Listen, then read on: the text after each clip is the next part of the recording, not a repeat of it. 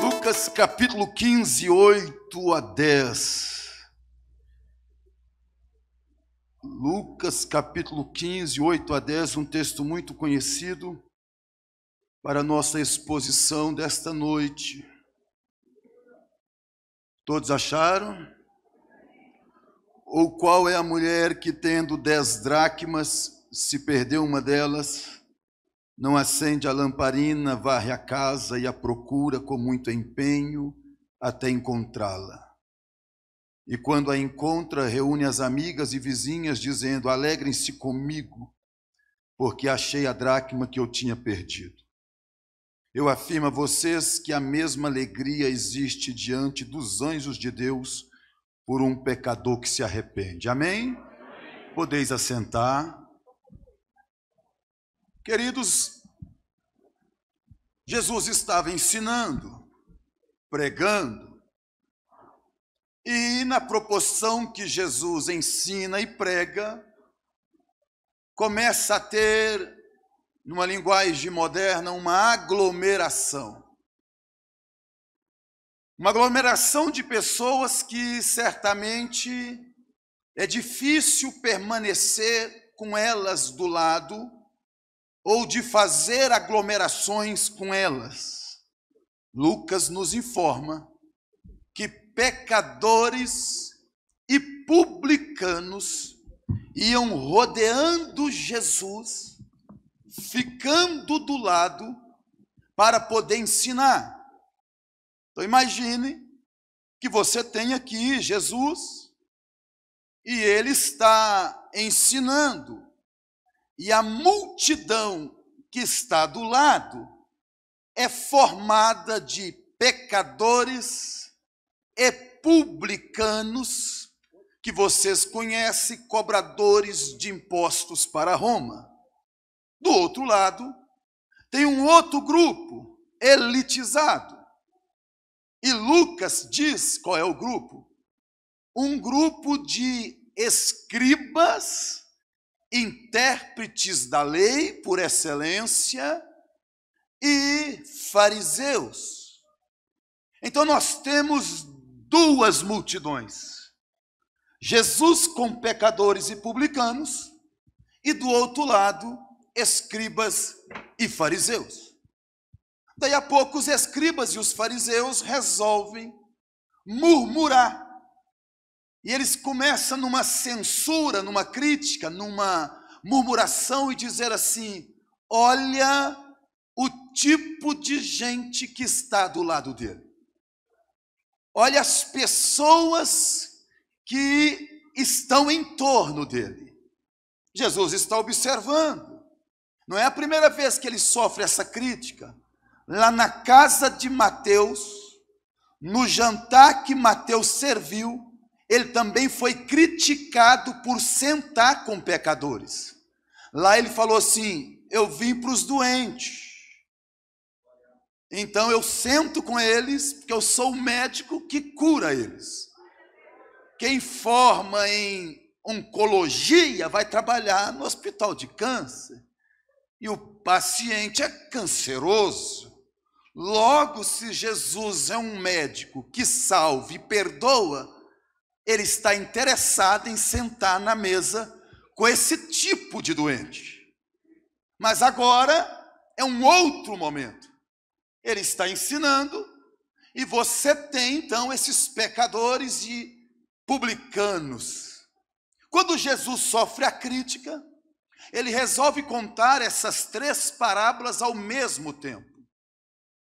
A hermenêutica bíblica aconselha que para você interpretar uma parábola, você tem que descobrir o propósito pelo qual ela foi contada.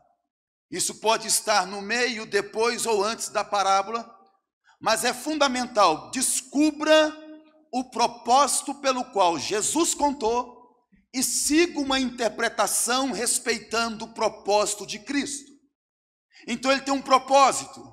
Ele quer responder escribas e fariseus que estão criticando ele por ele estar rodeado de pecadores.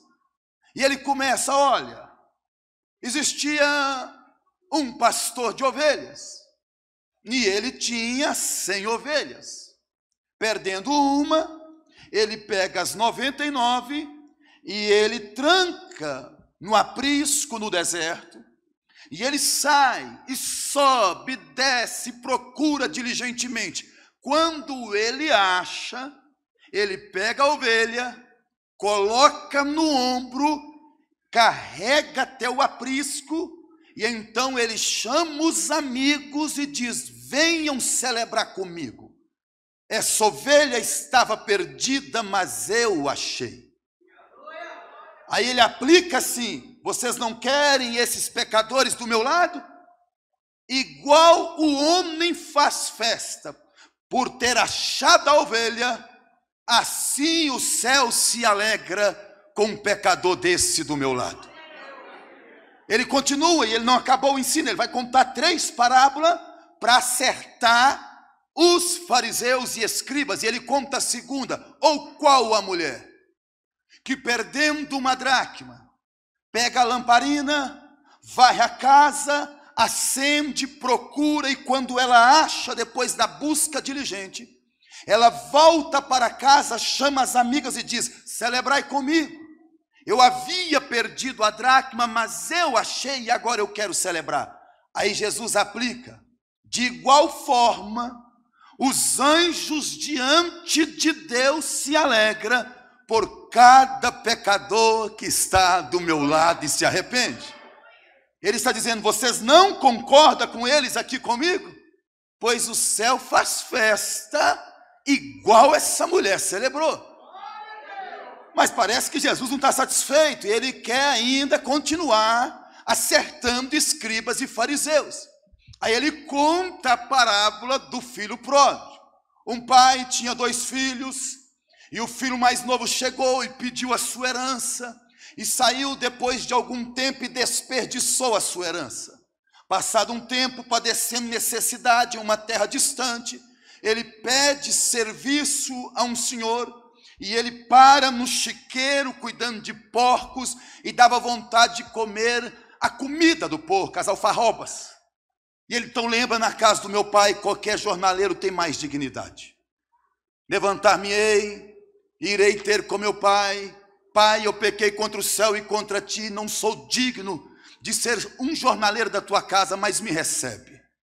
E quando ele volta, o pai então sai ao encontro dele, manda preparar um grande bezerro, fazer uma grande festa, toca música, coloca anel, coloca vestidos, mas o irmão mais velho está chegando do campo e ele não consegue entrar. Agora Jesus está dizendo para os fariseus: vocês são os irmãos mais velhos. Vocês têm a lei, têm Abraão, têm Moisés, têm as Escrituras, e vocês não desfrutam do que o Pai deu. E quando um pecador desse vem e eu recebo, vocês não querem entrar na celebração. O que Jesus está dizendo é o seguinte: não tente me impedir de relacionar com eles porque entre a vossa opinião e a opinião do céu, eu fico com a do céu. Vocês entristecem de ver eles do meu lado, mas os anjos estão fazendo festa diante de Deus. Mas eu quero me ater num texto para ilustrar a ministração desta noite, justamente na dracma, que segundo a cultura, essa mulher ela recebeu do marido. Era natural o marido presentear a esposa com um colar com dez dracmas, moedas de valor.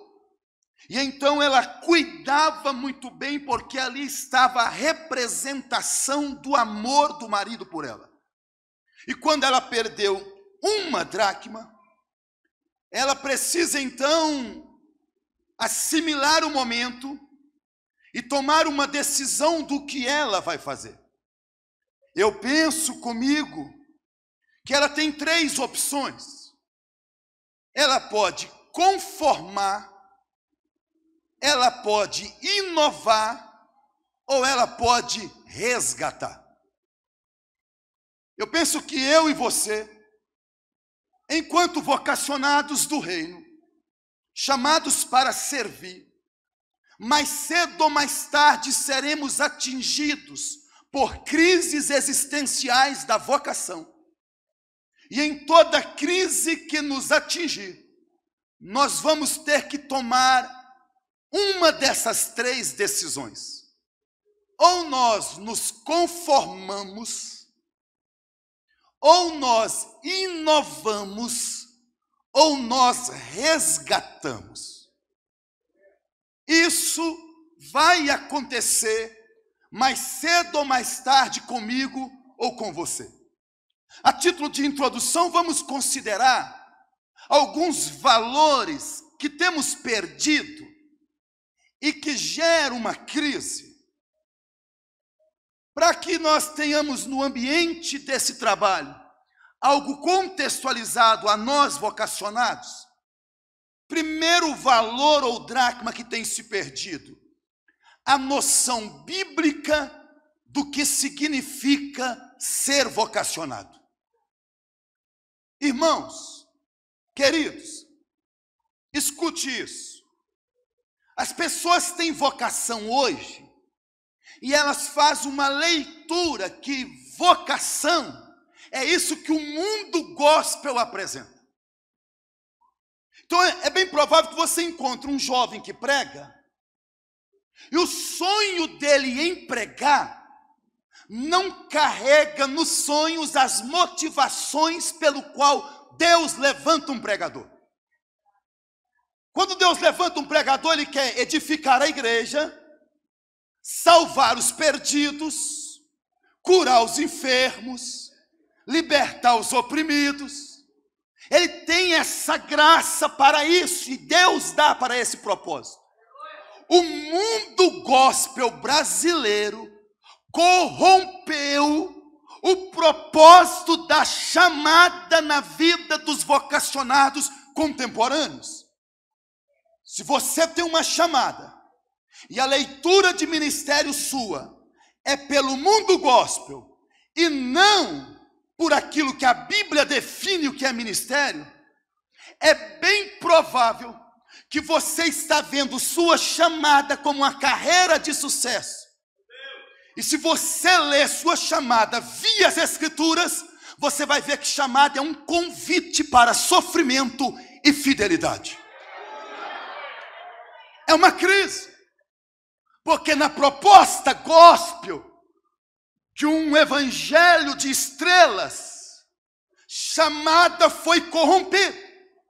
Se uma moça canta muito bem, com unção, uma voz afinada e uma linda voz, é bem provável que sites, gravadoras, produtores, vêm para cima dela com tudo e diz: você tem um chamado, você precisa de marketing pessoal, você precisa de site, você precisa de comunicação melhor na internet. Eu não jogo nada disso fora. Eu só estou dizendo que o mundo gospel traz uma proposta que não é a proposta pelo qual Deus nos chamou. Então você começa a sonhar com algo que não é os sonhos de Deus no teu ministério. Deixa eu ilustrar isso a partir da minha própria experiência de vida. Quando eu era jovem na região do industrial, eu me lembro do pastor Moacir Lucindo, do pastor Benedito Miguel, fazendo desfile com, as, com a corporação musical.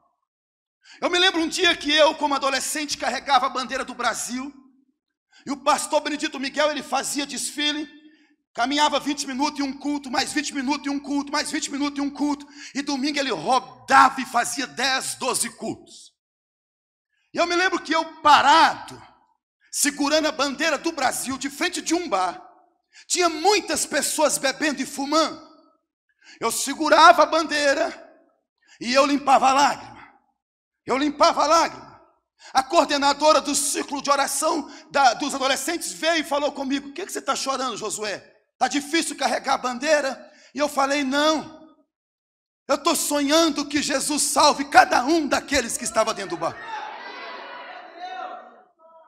A motivação era pura. A gente sonhava com almas. A gente sonhava com pessoas sendo libertas. Até que pregar virou estrelismo e a gente deixa de sonhar com chamada para sonhar com agenda. Nós deixamos de sonhar em Deus derretendo corações enquanto a gente prega e passamos a sonhar com um cachê que nos dê uma vida de luxo. Perdemos o valor do que significa chamada à luz da cruz de Cristo do que significa chamada à luz do Novo Testamento. Perdemos o valor da excelência da manifestação dos dons espirituais com autoridade em nosso ministério. E nós vamos ter que decidir. No meio da crise, a gente se conforma, a gente inova ou a gente resgata. Outro dia eu estava na casa do pastor Jairo, o senhor conhece ele de Ribeirão Preto. E aí ele me levou para jantar e um genro dele falou assim: Olha, não duvide que ele gostou de você. Porque se ele te levou para jantar, ele gostou. E lá jantando, ele falou assim: Você está vendo minha família e você está pensando que nós somos felizes. Tem algo nos machucando. Eu falei, o que foi, meu pastor? Na mesa jantando. Está vendo minhas duas filhas? Nove anos de casada, dez anos de casada, são estéreis. Não podem ser mães. E isso está machucando a nossa família. Eu falei, ah, vamos jantar, pastor. Depois da janta a gente ora.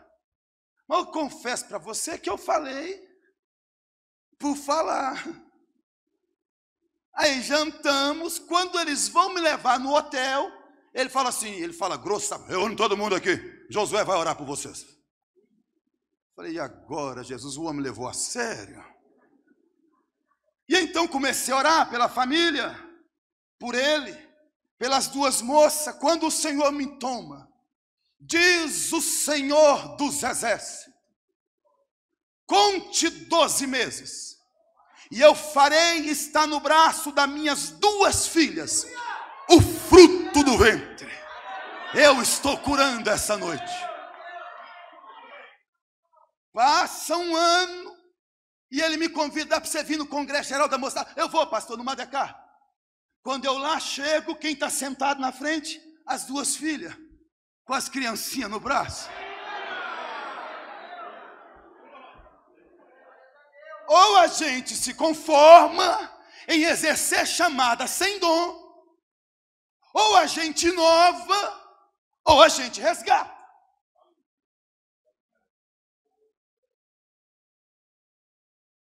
Você vai ter que decidir. Eu terei que decidir.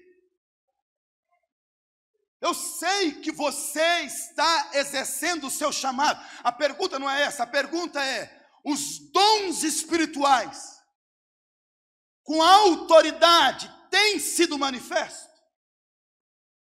Por que, que você está levando sozinho quando você pode ter essa cooperação sobrenatural de Deus? Deus não te chamou para quebrar tudo. Deixa que o dom faz isso. Deus não te chamou para manipular as pessoas. Deixa que o dom faz isso. Só que da vez que eu perdi, eu crio meus mecanismos. Perdemos o propósito pelo qual Deus planta a igreja. Deus planta a igreja na porta do inferno, para pecadores parar de entrar no inferno.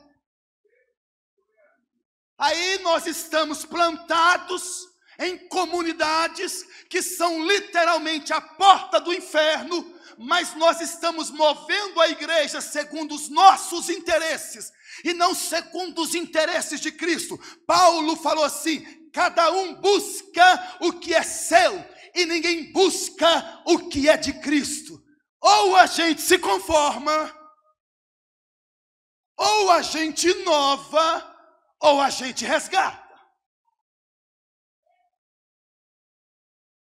Você vai ter que decidir. Eu terei que decidir. Perdemos a centralidade de Cristo.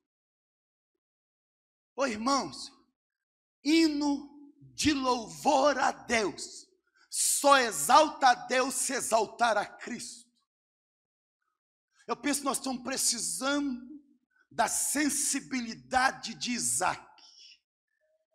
Ele olha e falou: Pai, tem lenha, tem fogo, mas onde está o cordeiro?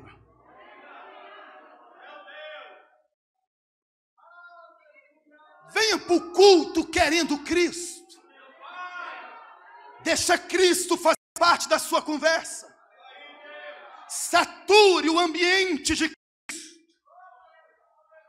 Outro dia eu estava indo pregar com a, era Cassiane. Cassiane, ela arrasta muita gente, né? Então era certeza que ia ter umas 8 mil pessoas. Um amigo me ligou e falou assim: vai largar o que lá hoje? Eu falei, Cristo, é. Você tem dúvida? Cassiane vai estar tá lá, um monte de gente vai por causa dela. Eu vou aproveitar que eles foram por causa dela e vou ir por causa de Cristo. Oh, aleluia! O assunto é Cristo, irmãos. Por que, que você está tomando partido por gente que não é o teu Salvador? O Paulo, lá em Colossos, tem mestres gnósticos negando a divindade de Cristo dentro da igreja. Aí ele já começa assim: nele habita corporalmente toda a plenitude de Deus. Ô Paulo, você está viajando para onde? Estou indo para Corinto. Primeira vez, primeira vez. Corinto é a capital da filosofia junto com a Grécia. Os corintos não se ocupavam de outra coisa senão filosofar uma nova ideia. E o Paulo está com o coração esmagado. Vai pregar o que lá, Paulo?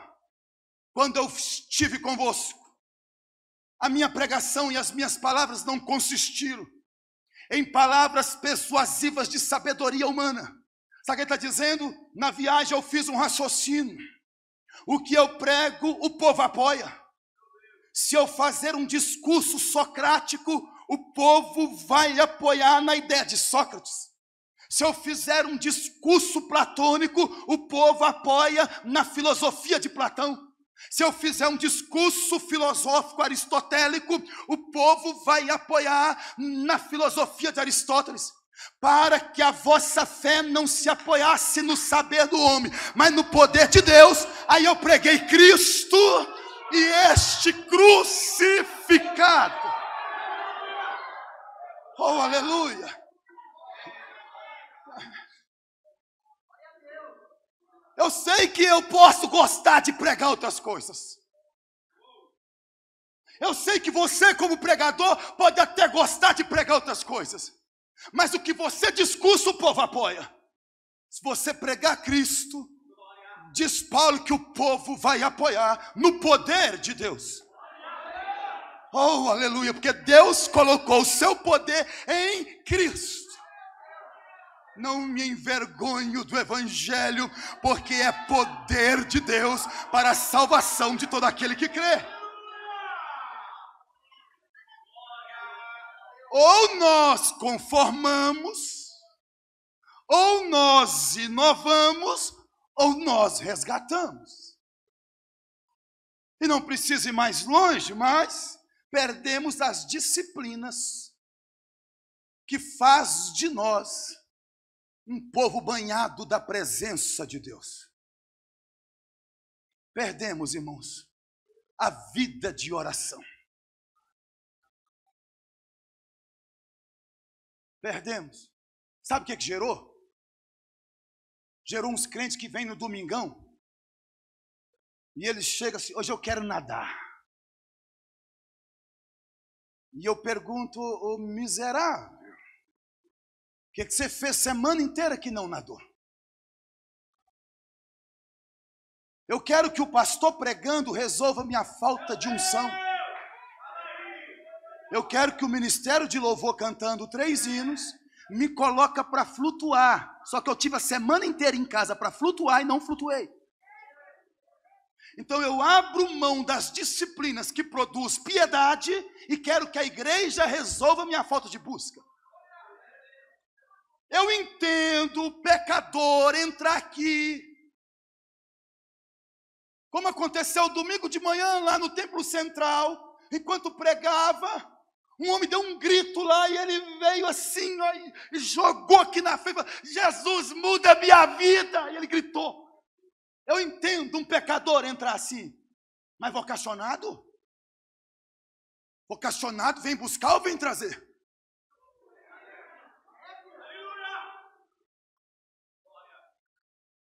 E aí a igreja vira pronto-socorro, ela é pronto-socorro para quem está perdido, para quem já foi achado, para quem tem vocação, para obreiro. Igreja é lugar de derramar o que você está vivendo com Deus. Vem buscar, não vim trazer. Tive com Deus essa tarde. Vai, ele vai salvar, Ele vai falar, Ele vai renovar, Ele vai batizar. Como que você sabe? Eu tive com Ele.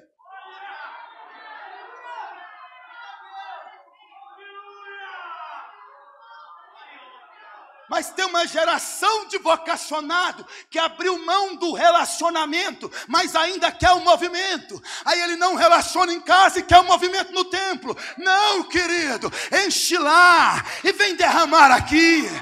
Enche lá e vem derramar aqui. Bendito seja o Deus de Israel.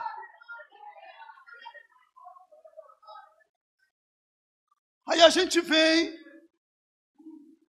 sem delongar nessa, nesses valores que geram crises, vamos então caminhar nas três opções. A primeira é conformar. Vamos nos gabar daquilo que era para a gente ter vergonha. Desculpa a franqueza, porque corta aqui, viu? Então não pensa que aqui não está diante de Deus querendo mudança, não, porque está. Mas a gente acaba de pregar e a gente coloca assim lá no Instagram e no Facebook. Eu não tenho palavras para dizer para vocês o que Deus fez hoje. Aí você vai e liga para alguém, o que, que Deus fez lá? Não fez nada, não foi normal. Você está se conformando. E você já se aprendeu a se gabar daquilo que era para você ter vergonha. Então eu me engabo que eu quebrei tudo, quando na verdade faltou unção. Eu me engabo que destruiu, quando na verdade ninguém se converteu. Era para mim sair de lá, dobrar o joelho e pedir, Deus, me enche, me muda. Não dá para pregar assim. Começa a me usar. Mas eu já fui iludido por redes sociais. Eu vou para a rede e jogo a foto lá de novo e faço o meu marketing ministerial. Quebrou tudo hoje. Quebrou não, irmão. Ninguém aceitou Jesus, ninguém foi batizado, ninguém foi curado. E a gente só levou na garganta e no jargão mesmo.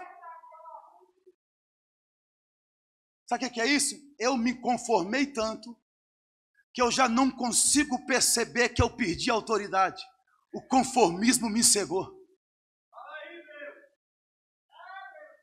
Só que não dá para conformar, permita-me vocacionar. Porque conformar é sufocar a profecia que saiu dos teus lábios. Quando você começou, você disse assim: Deus vai me usar. O que você profetizou é que você ia fazer a diferença. Eu me lembro do que eu profetizei, eu lembrei esses dias para um amigo por nome Diogo, em cima de um caminhão de batata, lá na perfa, como chapa da Ceasa. E eu lembro que eu peguei o Diogo e eu sacudi ele. E eu peguei a bola de couro na minha cabeça que parava o saco de batata. E falei: Olha aqui para mim, Diogo, olha aqui para mim. E ele falou: Você está ficando doido, Josué? E eu falei: Não, Diogo, Deus vai me tirar dessa seasa. Eu vou virar esse Brasil e o mundo pregando.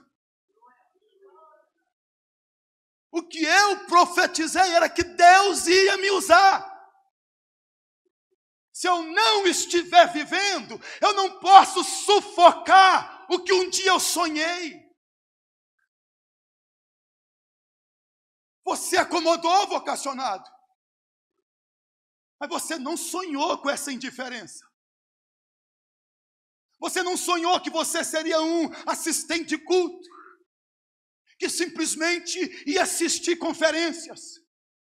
Você sonhou que você seria cheio do Espírito Santo. Você sonhou que você curaria os enfermos. Você sonhou que você seria uma trombeta.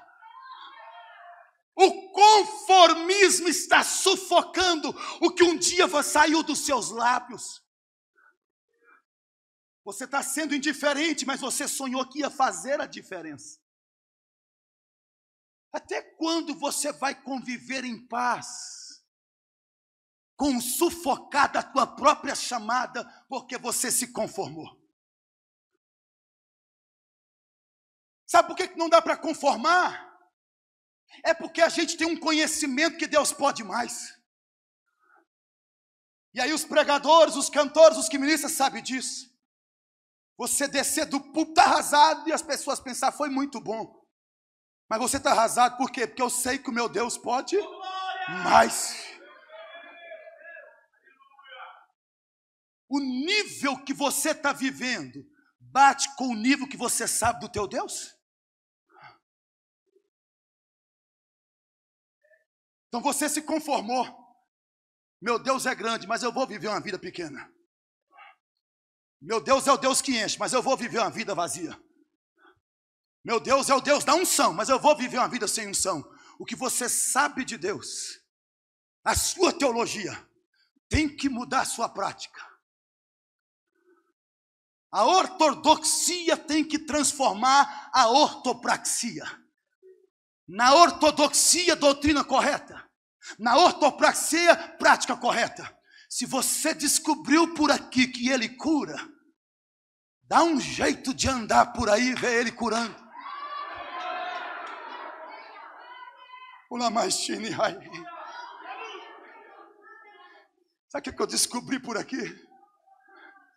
Eu descobri por aqui que a oração de um justo pode muito em seu efeito. Se eu pôr o joelho no chão, eu posso viver o que eu descobri aqui. Maraguiais. E aí permita, nós estamos numa escola e permita a minha liberdade em falar, mas tem hora que eu fico com vergonha, porque eu tenho lá 1.500 livros, e eu já li isso aqui mais de 30 vezes, e minha vida, toda vida é ler e orar. Então, quanto mais eu conheço, mais eu vejo que eu estou distante. Aí ou você se conforma, ou você fala, não, eu, eu vou ajustar. O que eu conheci, eu quero viver. Oh, aleluia. Se conforma, não. Você está sacrificando a sua teologia. Você conhece um Deus que faz mais. Usa mais. Tem gente que não entende, pastor. Tem uns pastores, irmão, que se o culto estiver assim, o negócio não estiver trincando, eles colocam a igreja de pé e dão um jeito de começar a orar. E não, mas eles falam assim, aqui não é cemitério, aí vamos dar glória, eu quero ver você cheio. E daí a pouco o negócio até aqui explode. Tem gente que não conforma. Deixa eu te dizer, muitos não conformam porque eles não aceitam o que eles estão vendo e o que eles conhecem. Do nada eles interrompem e falam assim: vamos orar. O que eu conheço de culto não é isso aqui, não. Vamos orar que eu conheço de pregação não é isso aqui não. Por que, que você está conformando se o que você conhece de Deus vai além do que aquilo que você está vivendo? Sabe por que não dá para conformar? Porque todo aquele que Deus chama, ele acende uma chama. Não dá para sufocar a chama. Outro dia aconteceu um negócio bacana. Eu acabei de pregar numa sede de uma cidade aqui desse estado. E um pastor perguntou: só tem 15 minutos, 10? Eu falei: eu tenho. Irmão, ele estava com o olho inchado, tanto chorar. E aí eu falei: eu tenho. Ele me puxou de lado para dentro de um salão lá, uma galeria. E falou assim: tem um mês que eu entreguei a igreja. Eu falei: e?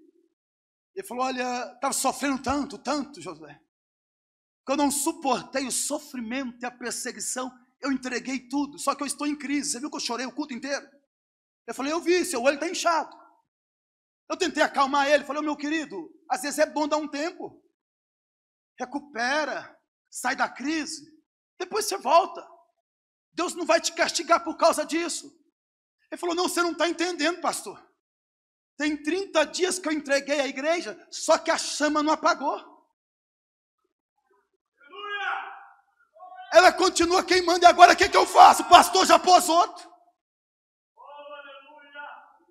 Ô vocacionado, conformismo não combina contigo, porque o seu conformismo não foi capaz de extinguir sua chama, ainda queima,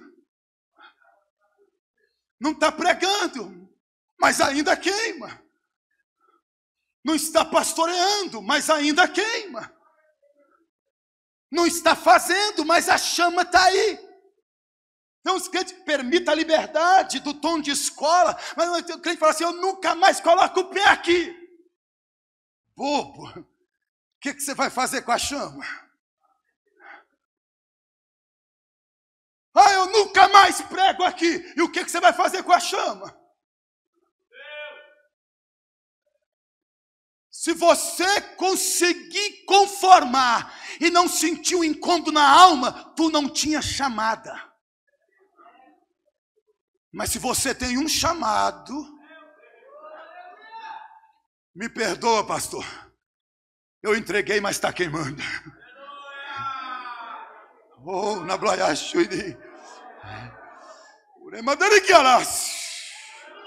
Adianta entregar aquele departamento lá, vai continuar queimando.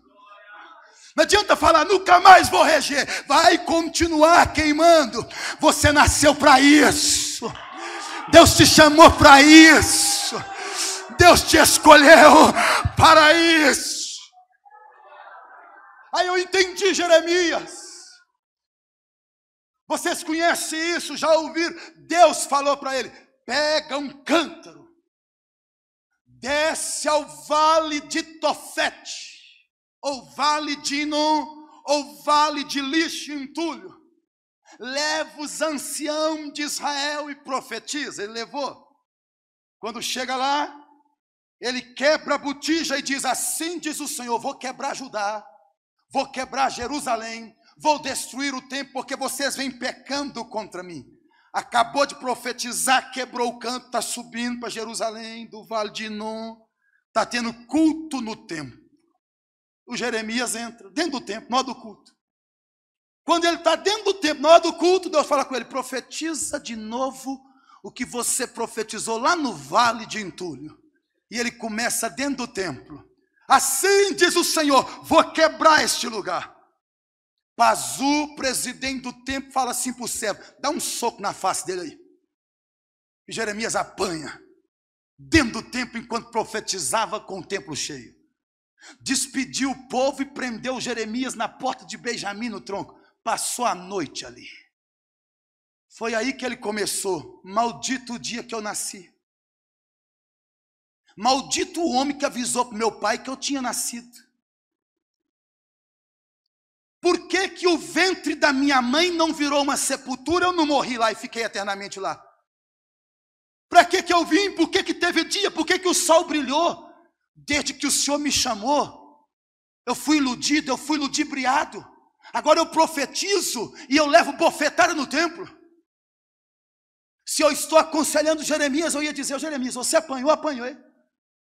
Aí de repente, sabe que amanheceu, sabe quem está vindo? O Pazu, o homem que deixou ele preso. Ô Jeremias, fica quietinho, viu? Quem está vindo aí é o Pazu que mandou você ser espancado ontem, ele te deixa preso. Quando o Pazu chega, o Jeremias começa. Assim diz o Senhor: Eu vou te destruir. Para, Jeremias. Eles cospem na tua face, ele bate em você, ninguém te valoriza, te joga no cepo. Sabe que ele fala, não posso, toda vez que eu tento parar, tem um fogo. Ele nem sabe onde é, irmão. Diz ele que é cerrado nos ossos, mas queima no coração. Tem um fogo cerrado nos meus ossos que queima no coração. Ô Jeremias, você vai profetizar de novo? Apanhou ontem por causa desse negócio de profecia. Eu vou. Profetiza não, Jeremias, mas está queimando. Oh, aleluia. Ana Blaia, Chui. Por que você fica insistindo em fazer retiro? Tudo é uma canseira. Por que você não larga a mão? Para que que programaram mais uma vigília? Tem um monte de crente que não vem. A maioria ouve a estrela e vai embora. Por que de novo uma escola de profeta? Parece que a coisa é sem sentido. E quem diz que nós estamos buscando sentido na coisa? É porque está queimando. Você vai pregar de novo, está queimando. Você vai organizar evento de novo, está queimando. Você vai adorar de novo, eu vou, está queimando. Ninguém te valoriza, ninguém te honra. Todo mundo, você vai de novo, eu vou, está queimando. Não é os homens me ver, é a chama que o Deus que me chamou acendeu dentro de mim. Ulabai, anuiei, sui de candihais. Deixa eu dizer para você, vocacionado e vocacionada, você vai continuar. E não tem a ver com reconhecimento humano, com projeção e nem com honra na terra. Tem a ver com fogo que queima do lado de dentro, da parte do Deus que te chamou. Vai visitar de novo, está queimando.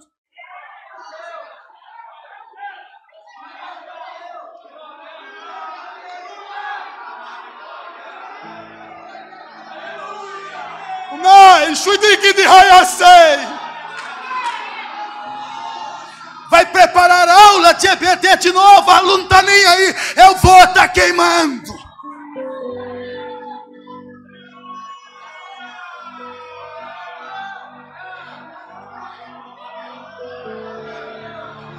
Abaixo, e de de raio. O limão do que se não der certo, não é questão de dar certo ou dar errado, é questão de viver. O que Deus acendeu na alma.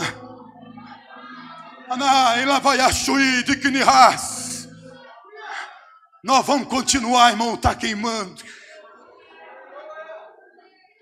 Oh, aleluia. Oh, aleluia. Oh, aleluia. Recebe graça recebe porção dobrada do Espírito Santo, recebe um renovo espiritual da parte de Deus sobre a sua vida. Vai preparar sermão de novo, vou. Vai viajar de novo, vou. Vai consagrar de novo, vou. Vai voltar lá, vou.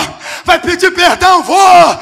Vai se humilhar, vou. Vai na vigília, vou. Vai na igreja, vou. Vai ajudar o pastor, vou. Por quê? Porque está queimando.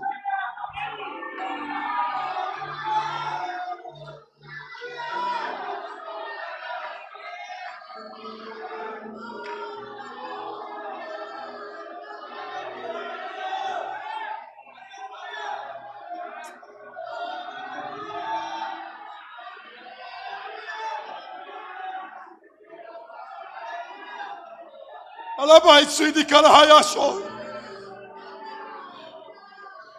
Deliviaisu de Kedihas. Anibliai.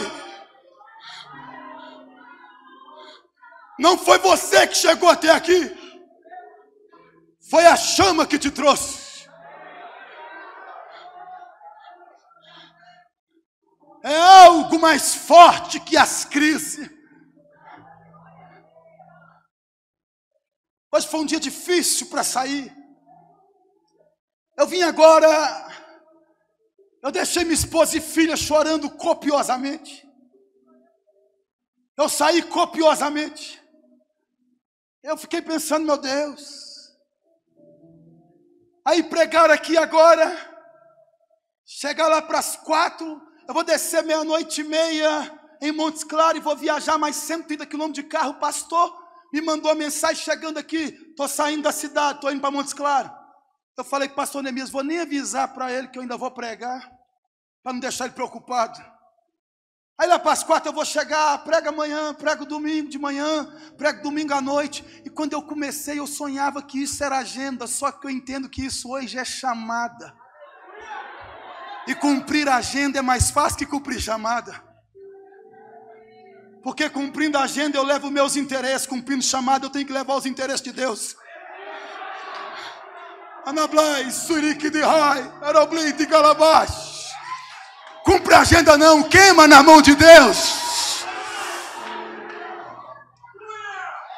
Abracei elas, orei com elas e falei: Eu vou ali, não é agenda, eu vou ali cumprir uma chamada.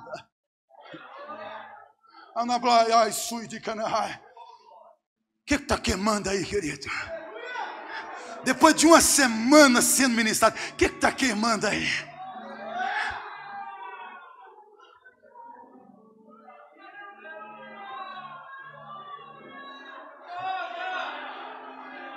na blast. Ibidibiasu de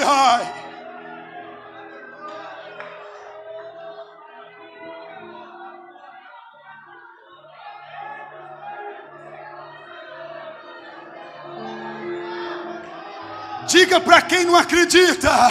Você não importa, está queimando. Diga para os demônios, Satanás, inferno, invejoso, carnal, mentiroso e caluniador, está queimando. Vai continuar, vai continuar. Eu profetizo, vai continuar, porque está queimando.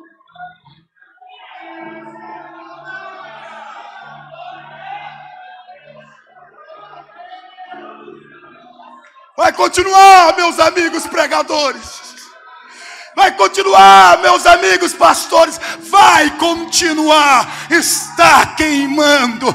Ninguém cismou de pregar. Ninguém cismou de pastorear. Ninguém cismou de cantar. É Deus que chama e não assovia. E te dei um nome. E você é meu. E quando passares pelas águas, eu estarei contigo. E quando passares pelo fogo, a chama não arderá em ti. Você tem o chamado.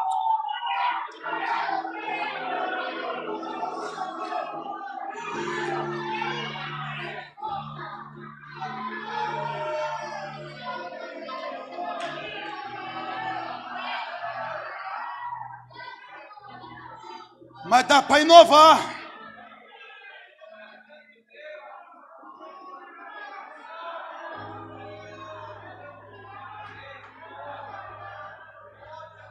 Dá para inovar. Aquela mulher poderia faz, pegar a dracma, olhar o modelo, aí é de ouro.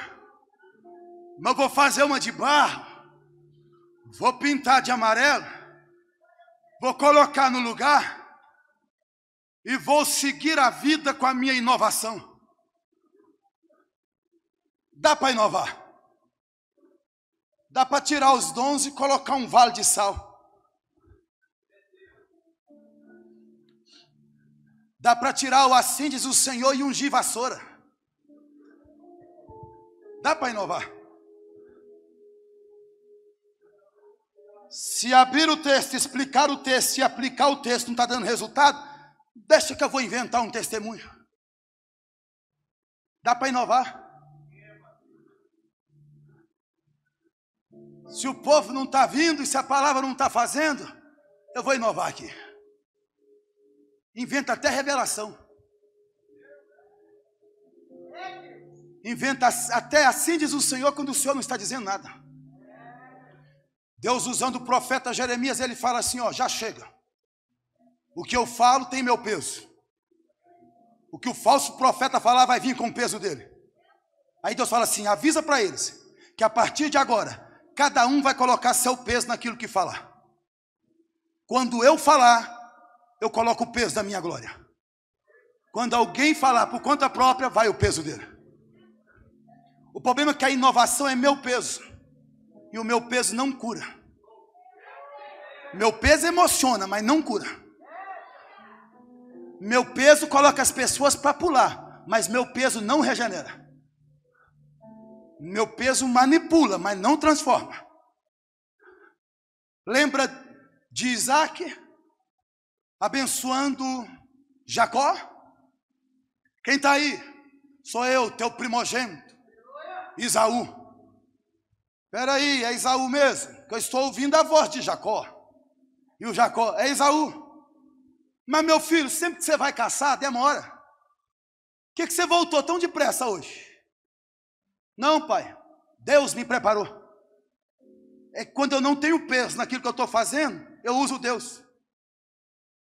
Já não é Deus me usando, sou eu usando Deus. Dá para inovar. Deus para de nos usar e a gente começa a usar Deus. Falso profeta tem marcas assim. Olha aqui para mim, olha aqui para mim, olha aqui no meu peito. Eu sou autoridade aqui para te abençoar. Fuja disso. Eu perdi o peso. E eu começo a usar o meu peso. Aí começam as inovações. Ô irmãos, se a unção está na palavra, é um reflexo da misericórdia de Deus e da vida piedosa. O que acontece com a gente gritando, tem que acontecer com a gente conversando. E eu respeito o temperamento e estilo de orador.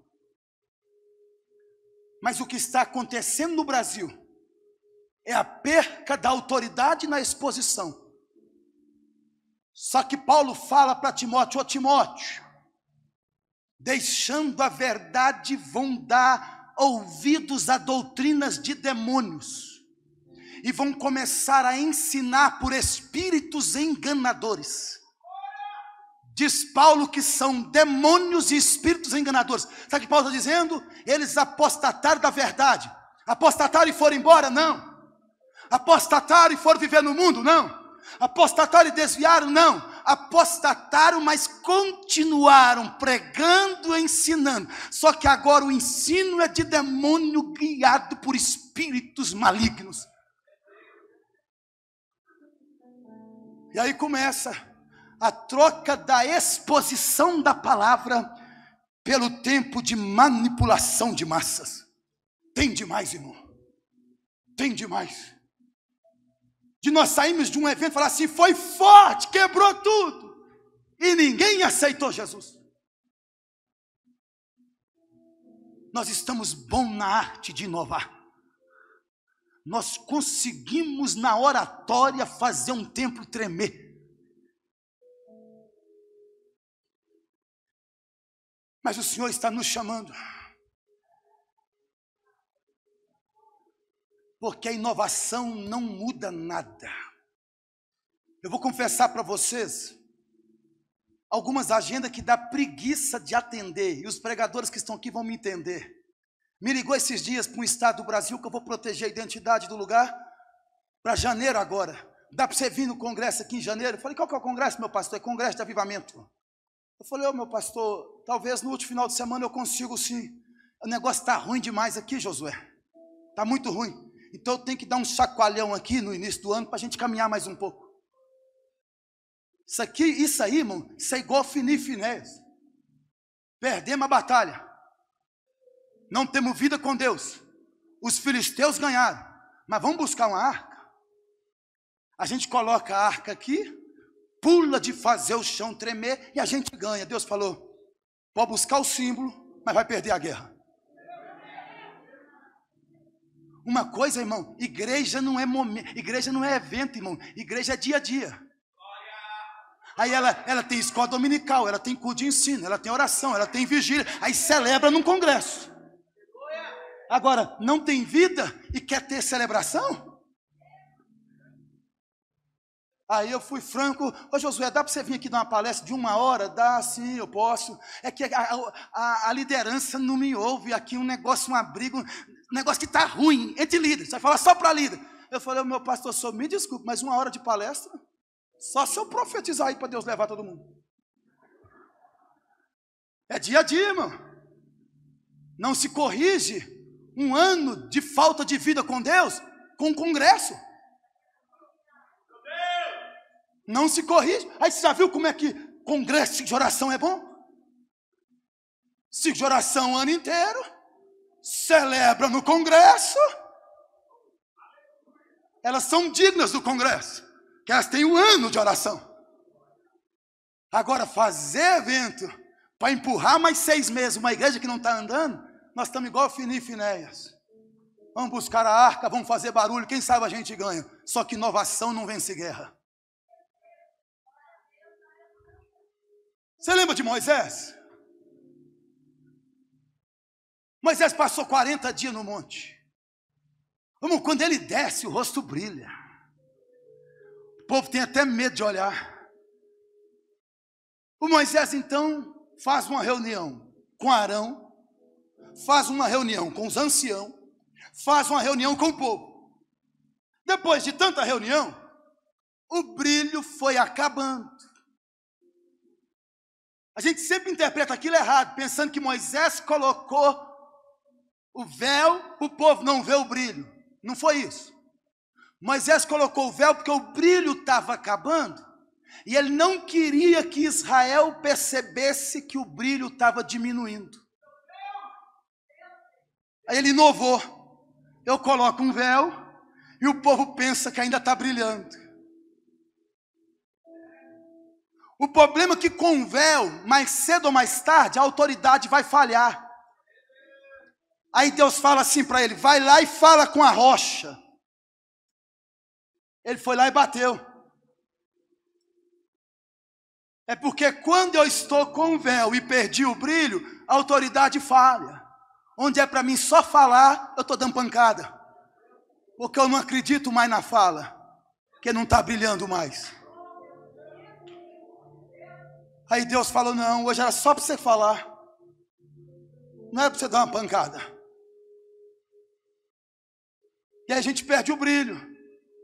Paulo denunciou Moisés em 1 Coríntios 3, porque nós não somos como Moisés. Para que o povo de Israel não visse que a glória daquela, a glória transitória estava acabando, colocava o véu. Ô irmão, ô vocacionado, se parar de brilhar, não coloca véu, não, volta para o monte. Oh, aleluia! Resgate as disciplinas que marcaram o início da tua chamada.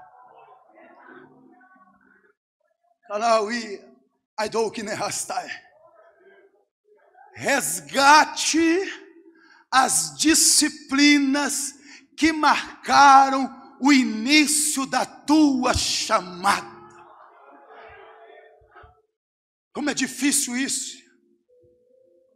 Mas já contei aqui pregando, sabe uma disciplina que marcou o início da minha chamada? Aqui, no, aqui nesse templo. Contei da última vez que eu estive aqui. Seis meses devendo Ibade, Pindamonhangaba não podia voltar para estudar. 21 dias de jejum até 18 horas para Deus mandar o dinheiro para pagar o IBAD. Senão não voltaria para estudar. É o primeiro DVD da minha vida gravado aqui. Época de Orkut. No dia um irmão me viu pregando aqui, criou uma página no Orkut para mim, presbítero Josué Martins. 21 dias de jejum. Aí foi quando Napoleão não pôde vir. E o pastor Zé Rodrigo, pastor Neemias entrou em contato. Irmão, isso tem lá, isso lá vai para os 20 anos, deve. Você pode vir, menino, você está aqui, eu posso. Naquela noite eles me deram a oferta que era do Napoleão. E eu paguei o IBAD. Resgate as disciplinas do início da tua chamada. Inova não. Volta para o monte. Anda blaiai. O idig do hane vai assim. Desculpe-me. Desculpe-me. Mas Deus não está satisfeito com nós oradores manipulando igrejas.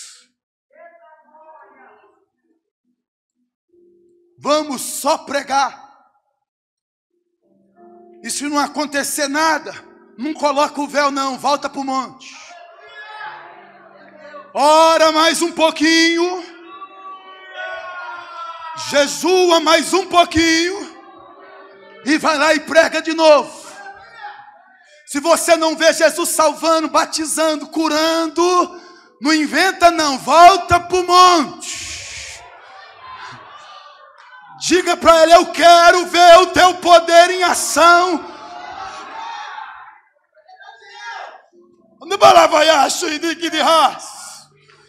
Oh, irmãos, é resgatar a autoridade e não arrumar substitutos pela falta dela é resgatar a unção e não arrumar substitutos pela falta de unção, é resgatar o poder de Deus em ação e não arrumar coisas para manipular a multidão. Nós não precisamos de alguém que nos manipule, nós precisamos de alguém dizendo: Assim diz o Senhor, e seja o Senhor dizendo.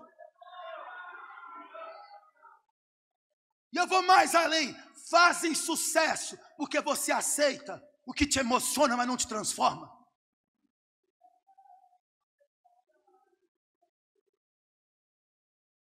Não é, não é sair da, não é sair daqui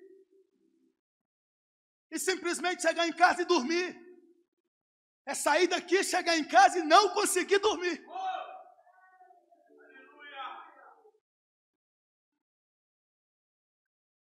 É para entrar em crise. É para dizer, eu saí de uma escola de profeta. Eu não posso dormir o mesmo. Eu não posso ser o mesmo. Eu serei outro homem. Eu serei outra mulher. Eu não me conformo. Eu não vou inovar. Eu vou resgatar as disciplinas do início do meu ministério.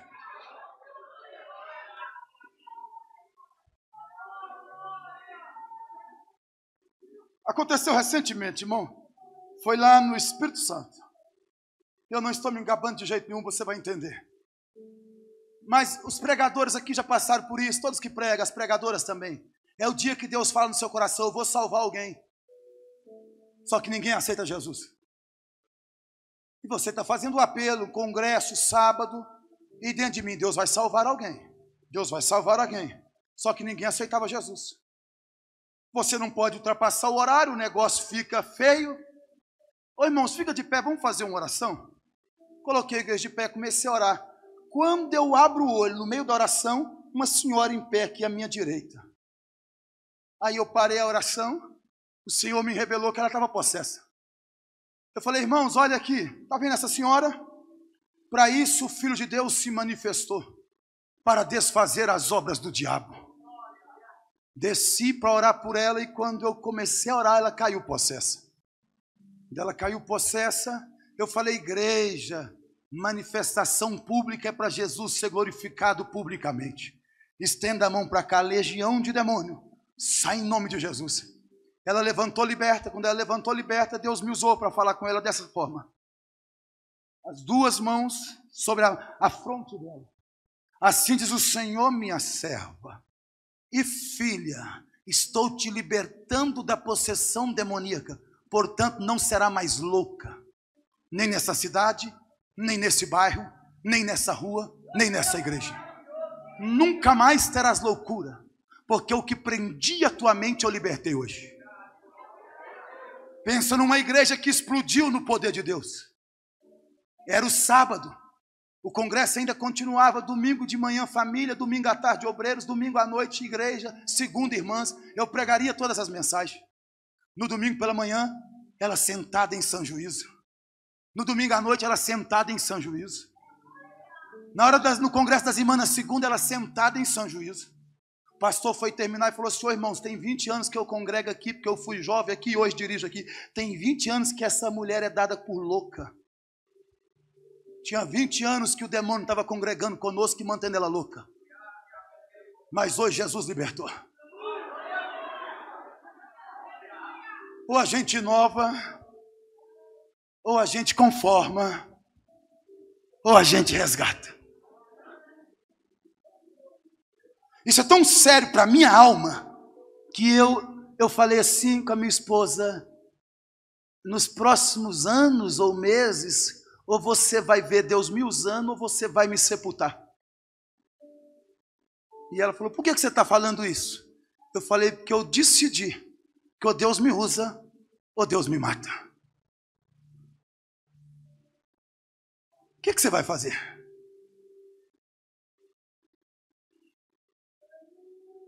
E resgatar, pastor, dá? Ó, oh, se dá. Altar, lugar de resgatar ministério. Qual que é a lei do altar do holocausto? Vocacionados, o fogo arderá e não se apar. É lei, viu? Deus falou assim para Moisés: diga para Arão, essa é a lei. O fogo arderá continuamente sobre o altar e não se apagará. Ah, mas é que tem crente supersticioso, né? É que eu amanheci com o pé esquerdo. É lei. Pé esquerdo ou pé direito? O fogo arderá continuamente sobre o altar e não se apagará. Não é que eu, eu paguei esperando o Feliciano. E veio Josué, mas a lei é a mesma. O fogo arderá continuamente sobre o altar e não se apagará. É, mas eu, eu não fui com a cara do pastor, indo com a cara do pastor, não, é lei, irmão. O fogo arderá continuamente sobre o altar e não se apagará. Sabe o que significa? Não é o jeito que você entra, é o jeito que o altar se encontra. E o altar está em chamas. O que queimava ali? Ele era de bronze quadrado, uma grelha em cima, fogo no chão, oferta em cima. Oferta de manjares. Vinha eu e o pastor Neemias. O que, que é oferta de manjares? farinha, trigo, Deus está me abençoando. Quando ela está queimando, o sacerdote derramava azeite, ela tinha que ser consumida com azeite e subia diante de Deus. O fogo queimava oferta de manjares. Aí chegava um outro vocacionado, e o sacerdote recebia: O que, que você trouxe? Eu trouxe um cabrito. Qual é a oferta? Ah, eu trouxe oferta pacífica, oferta de paz. É que eu convivo com esse vizinho aqui, nós dois temos muita comunhão, muita paz. Eu trouxe oferta de paz. Coloca aqui. Vamos queimar para Deus. E o fogo queimava. Chegava o outro, o que, você trouxe? Eu trouxe oferta das primícias. O Senhor Deus tem me abençoado e eu peguei a minha primícia e trouxe. Coloca lá. E o fogo queimava. Aí tinha um outro lá que pecou, quebrou a lei, Coisa simples, não guardou o sábado. Estava impuro, tocou no cadáver, roubou. E ele pensava: perdi minha vocação. Perdi meu ministério. Como que eu vou lá assim? Aí Deus falou: leva oferta de culpa. Pega o cabrito, vai até o templo quando o sacerdote perguntar qual é a oferta vocacionada, responda: é oferta de culpa. Pegava a oferta de culpa e colocava no altar, e o fogo queimava oferta de culpa. Sabe o que Deus estava dizendo? Eu não quero ninguém parado. Eu coloquei um fogo no altar que queima até oferta de culpa. Só não resgata quem não quer. Outro dia eu cheguei no templo central, falando de mim, Josué. Irmãos, eu dobrei o joelho 7 e 20. A vigília começaria 22 horas. Eu orei das 19 e 20 às 20 e 20, 21 e 20, 22 e 20, 23 e 20, meia-noite começou a cantar e eu fiquei no cantinho orando. Meia-noite e 20, uma e 20, uma e meia. Quando estava quase dando duas horas, vem uma irmã para o meu lado machando, falando em língua e diz assim: Pastor Josué, corredor. Eu falei: Vamos, eu estava te esperando. Ela pegou e falou assim: Assim diz o Senhor, eu recebi tua oferta, eu vou mudar a sua história. Estava crente, pastor. A oferta era de culpa. Mas eu sabia que o altar tinha fogo. Sabe o que me encanta? Cheguei lá em Valadares para pregar. E o congresso de jovens e eu estava muito temeroso. Eu falei, ah, sabe uma coisa, pastor? Não precisa pegar eu para almoçar, não, só leva para jantar. Deixa eu em jejum. Aí eu estou em jejum pregando à noite e passei o dia meditando e orando no hotel. Quando eu estou pregando, vem um jovem. Ele traz uma sacolinha de droga, joga lá e fala: Eu quero voltar, pastor. Eu quero reconciliar. Ali estava eu pregando depois de 12 horas de oração e jejum. Ali estava ele entregando drogas e dizendo: Eu quero ficar liberto. E não é que tinha fogo no altar para os dois. Anablaya. O Meneleguias. Sabe o que ele estava dizendo? Eu não quero que ninguém pare. Eu não quero que nenhum filho desista. Dá para resgatar a chamada. Dá para resgatar ministério. Calabide, adayasu.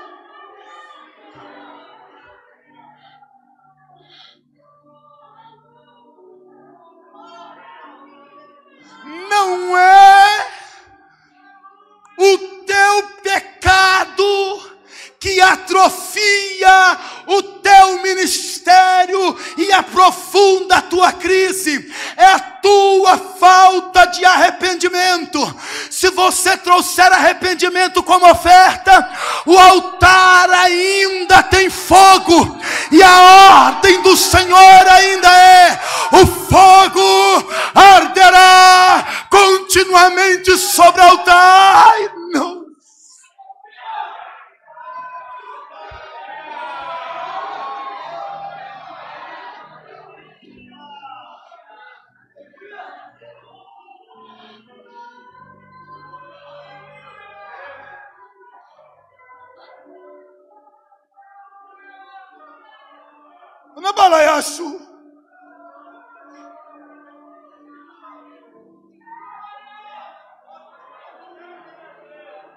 Tem gente que está aqui e pagou para mais dez. Tem gente que está aqui não queria vir, só veio porque ganhou. Mas se os dois traziam oferta, o fogo incendeia ambos. Anablayashwe. Uribalabaya show. Deus estava dizendo: Eu não quero filho parado, eu não quero filho escondido, eu não quero filho com vergonha. Seja oferta de consagração, meu altar tem fogo, oferta de gratidão, meu altar tem fogo, oferta de benção, meu altar tem fogo, oferta de comunhão, meu altar tem fogo, oferta de louvor, meu altar tem fogo. Mas se oferta for de culpa, pode vir adorar com culpa, eu vou te restaurar restaurar, eu vou te mudar.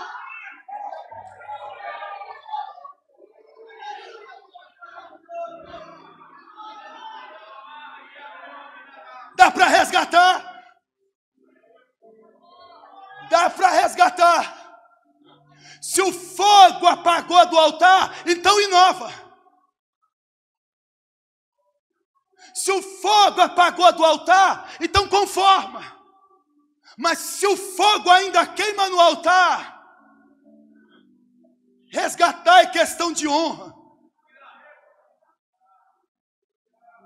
E aí Deus falou assim: traga lenha cada manhã Ele não mandou trazer fogo. Fogo já tem. Ele falou: traz só a lenha. O altar já está em chamas. Mandar lá e achou. Levanta a sua mão para o céu. Onde tem um vocacionado disposto Aleluia, manda lá, só você vai ser a lenha hoje.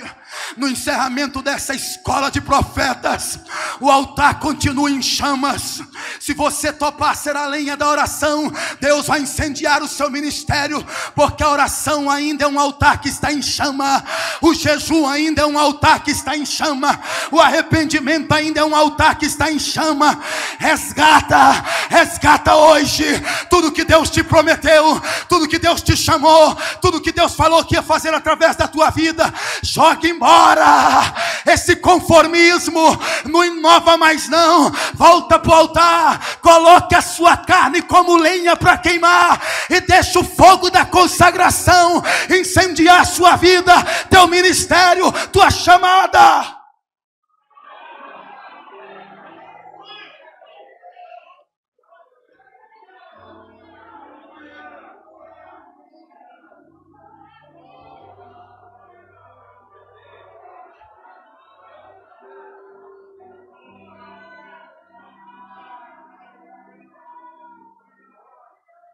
Se a oração não funciona, vocacionados, se Deus parou de responder oração, então os inovadores estão certos. Se Deus não responde mais propósito, então conformar é a saída.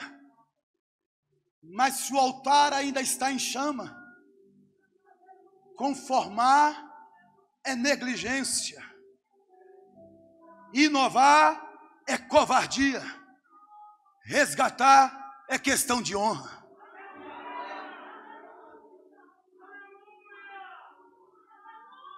Foi para isso que Deus te trouxe aqui uma semana.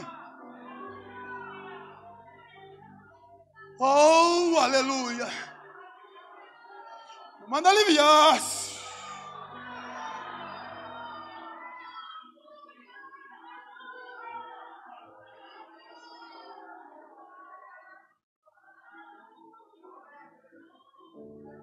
Uma das questões que eu penso que nós estamos sofrendo de insanidade mental no pentecostalismo contemporâneo é porque nós queremos os mesmos resultados, mesmo que nós tenhamos abandonado as disciplinas.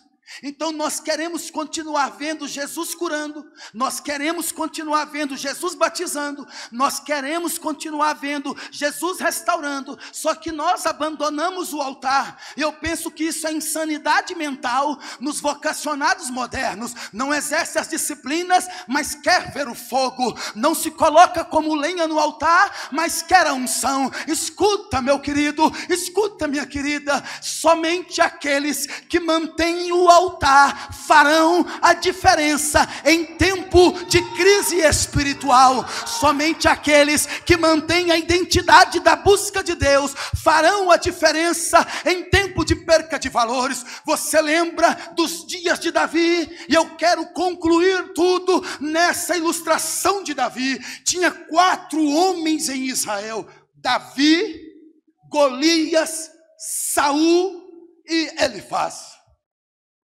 Os quatro quer o trono, viu? O que, que Saul quer? Saul é ungido que perdeu unção, mas não abandona trono. Quem quer Golias? É o anti-unção. É, vai na casa, tem um homem aí? Anti-unção. Desafio no braço. O que, que ele faz? É irmão mais velho de Davi.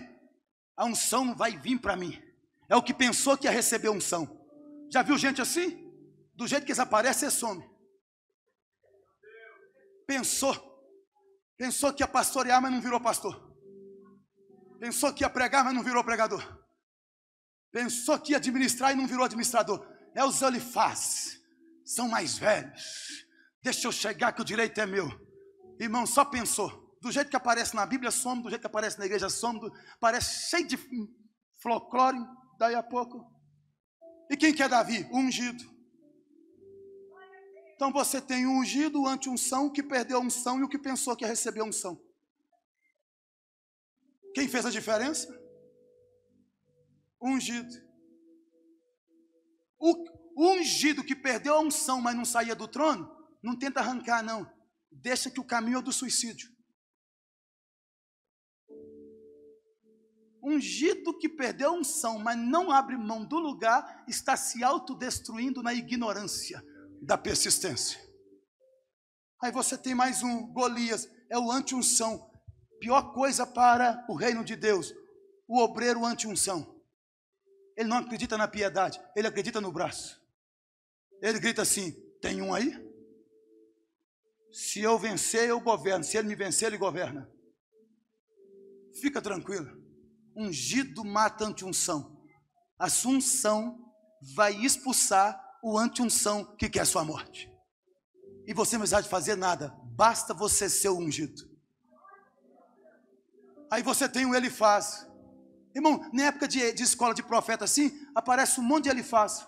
Vou te explicar como é que funciona. Durante seis meses de preparo, eles não ajudam. No dia do evento, eles querem ficar andando aqui na frente ajudando. Um ano preparando para o congresso de jovens e eles não vão no ensaio, não dão uma oferta. No dia do congresso, eles querem estar lá como se fosse coordenador da juventude. Ei, você não tem unção, você só aparece no dia que Samuel chega. E aí vem o Davi. Davi tem a unção. O altar está em chama para ele.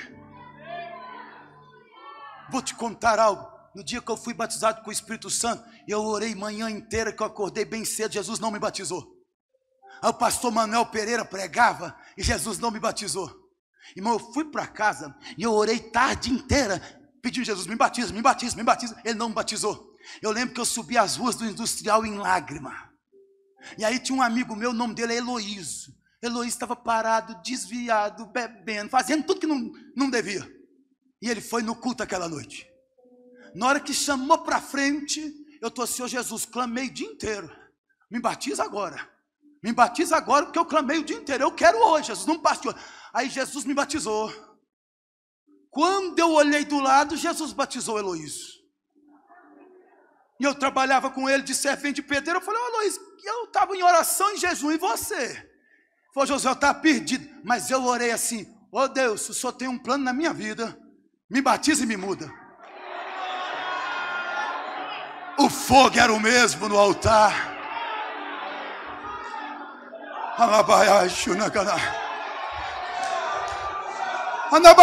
Suiviki de.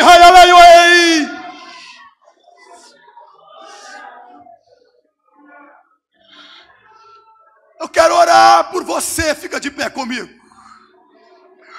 Eu não posso passar do horário de um minuto, irmãos, por ordem aqui e por um voo daqui a pouco. Acaba aqui, nós vamos embora. Mas eu quero orar por vocacionado. Sua oferta hoje pode até ser de culpa, mas o fogo dessa escola que Deus acendeu vai restaurar sua vida aqui hoje. Oh, aleluia, eu quero orar por você que participou dessa escola. E Deus está mudando o seu ministério nesses dias. Saia do teu lugar, não porque eu te chamo, mas porque Deus falou contigo. E vem aqui à frente.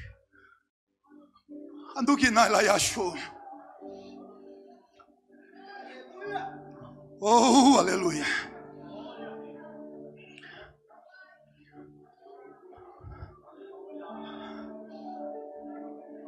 Haverá, filhos, haverá um toque sobrenatural de Deus na tua vida. E mais uma vez, Deus renova as promessas sobre a tua vida. Deus te toma com a mão dele. Escute algo: quando o ministério vai consagrar, guiado pelo Espírito Santo, o ministério chama e impõe as mãos. E ali Deus impõe as mãos e cela, porque Ele confirma a autoridade entrega ao ministério.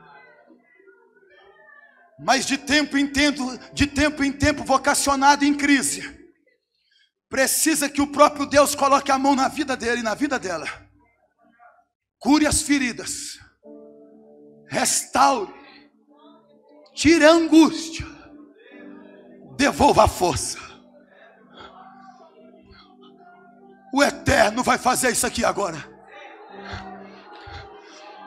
Ele te cura,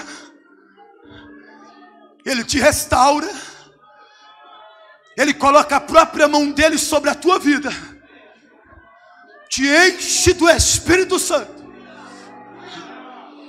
E eu não sei qual é a oferta que te faz ajoelhar aqui, mas eu conheço o fogo que está queimando.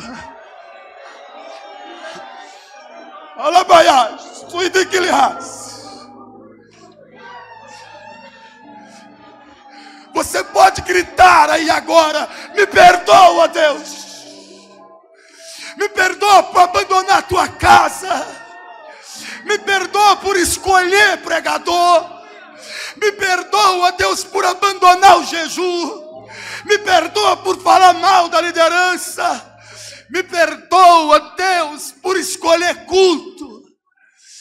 Me perdoa, Deus, por não doar o que eu poderia doar. Você pode humilhar aí agora.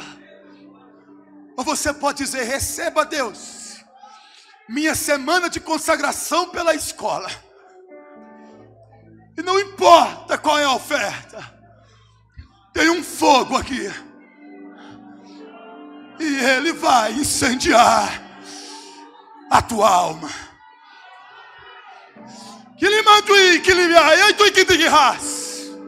Levante a sua mão para o céu.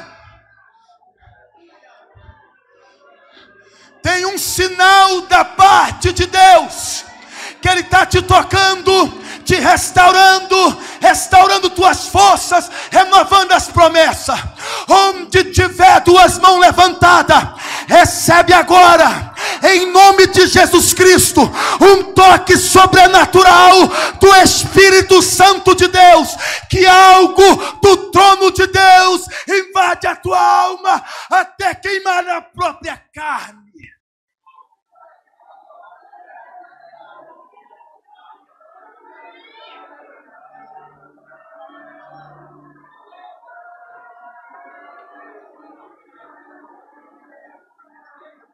Olha aqui, vocacionados. Não tem ninguém cantando. Ninguém, ninguém, não tem ninguém tocando. Então nós não vamos manipular nada. Ou Deus faz, ou a gente volta para o monte. Vamos viver na ministração o que nós aprendemos.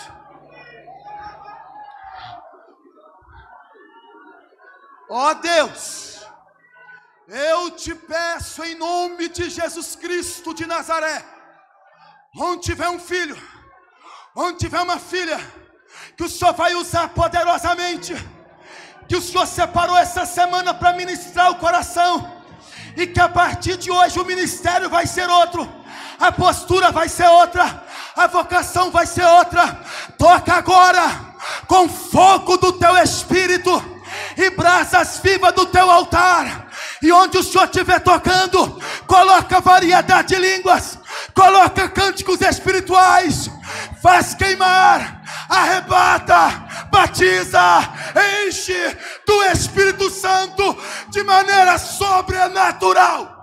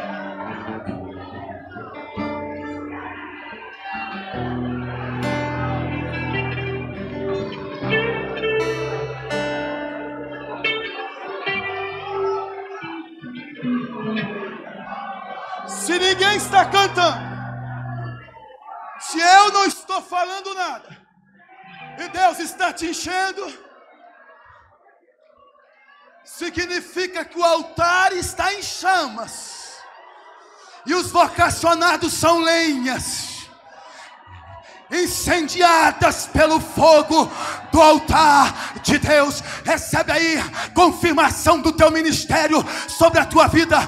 Olha o que Deus vai fazer. Ó oh, Deus, eu te peço, em nome de Jesus Cristo, onde tiver um moço, onde tiver uma moça, que o Senhor vai usar poderosamente, pregando a palavra nesta cidade, nesse estado, no Brasil e no mundo. Toca de maneira sobrenatural e enche do Espírito Santo. Onde tiver um jovem que vai virar pastor, que vai virar obreiro, toca de maneira sobrenatural. Onde tiver uma mulher, que o Senhor vai encher do Espírito Santo e vai usar poderosamente, toca de maneira sobrenatural. Onde tiver uma vida, que o Senhor tem um propósito com ela, toca agora, toca agora, de maneira sobrenatural.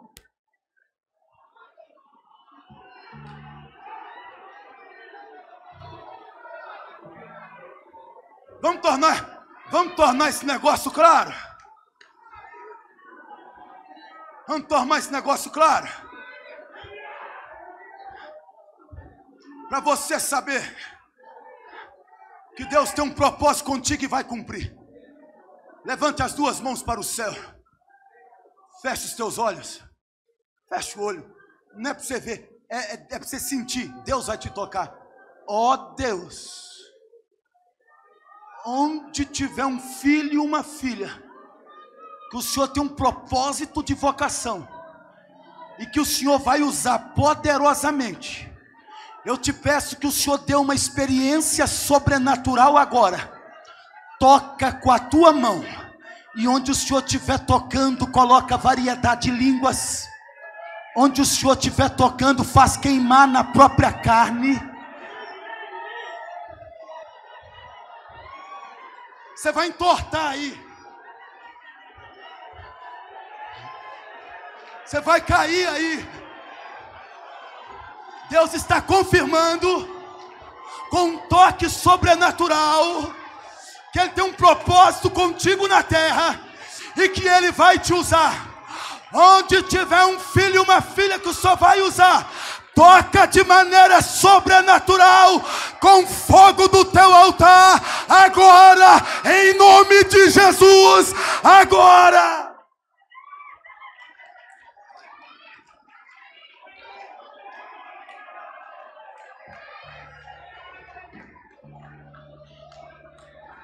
Pai, eu te louvo por esta escola. Pai, eu te louvo por cada vocacionado. Pai, eu te louvo por essa oportunidade ímpar. Pai, eu te peço em nome de Jesus Cristo, cumpra na vida deles tudo que foi ministrado essa semana, em nome de Jesus, amém. Deixa eu te contar um segredo: a escola termina daqui a pouco, mas o fogo arderá continuamente sobre o altar e não se apagará. Deus te abençoe. Deixa queimar, deixa queimar, deixa queimar, deixa queimar. Ah, Aleluia. Glória a Deus. Glória a Deus. Glória a Deus. Aleluia. Glória a Jesus. Aleluia. Glória a Deus. Glória a Deus. Deixa a chama te queimar nesta noite. Glória a Jesus. Aleluia. Aleluia. Aleluia. Glória a Deus. De pé dando glória, de pé dando glória. De pé falando em línguas estranhas. De pé adorando. de pé clamando, de pé chorando. A glória já invadiu esta casa. A glória já encheu esta casa. Aleluia. Aleluia. Aleluia. Ninguém sairá daqui vazio. Deus falou ao seu coração nesta noite. Oh glória! Aleluia! A quebrantamento nesta noite. Aleluia! Oh glória! Oh glória a Deus!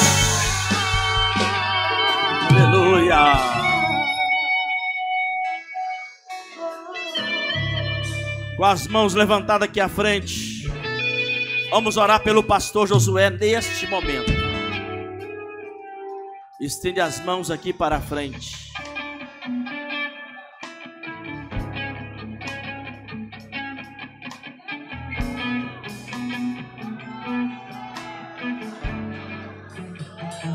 Aleluia. Em nome de Jesus.